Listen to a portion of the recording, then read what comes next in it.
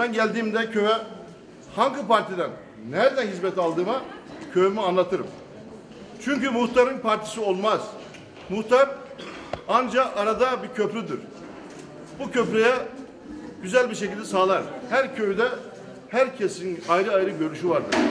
Önemli olan köyün acısını, tatlısını paylaşıp beraberce yürümektir. Köyümüze Fatih Bey ziyaret etti. Ve bizler gönül ister biz yukarı kayacık olarak gariban bir köylüyüz. Ama misafire başımızın üstünde yeri vardır. Misafire evimizin en güzel köşesine ağırlamak isteriz. Bizler kahvemizde sofamızı yaktık. Fatih Bey'i karşılamak için bekledik. Ama ne güzel bizim kahvenin içerisindeki o sıcaklık havaya.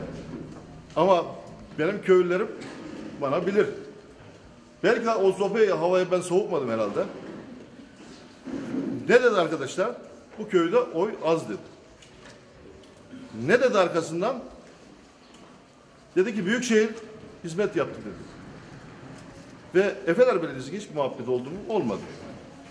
Ben de dedim ki Büyükşehir'in yaptığı e, hizmetlerden dolayı sadece bariyer olmak üzere yol kenarı onlara teşekkür ediyorum dedim.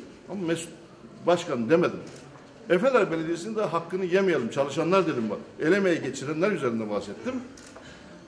Ne dedi arkadaşlar? Dedi ki Efeler Belediyesi sadece çikolata, baklava ve mahkemelerle uğraşmak. Bu haksızlığın en önde giden.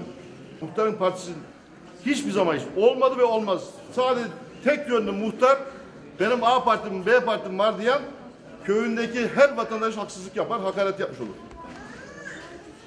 Ama ben şunu gördüm. Söyle arkadaşına söyleyeyim kim olduğuna. Ben Efeler Belediyesi'ndeki Mesut Başkan ve çalışan personelle belediye başkan yardımcıları, meclis üyeleri olmak üzere ve yapı olarak, karakter olarak sözü edildiği zaman insanız. Vicdanen bunun cevabını vermek mecburiyetinde kaldım. Bir oy istemeye gittiği yerde bir muhtara sen Mesutçusun, A'sın, B'sin diyorsa o adam muhtar hakaret yapmamıştır arkadaşlar. Köylü hakaret yapmıştır. Ya kardeşim sen lokum çikolatayı bırak. Sen milletin gönlünü iki dönem milletvekili olup giremediysen benim köylüm seni tanımıyorsa sen buna burada Mesut Başkan'la yok şundan bundan çözemezsin. Böyle bir dünya yok yani.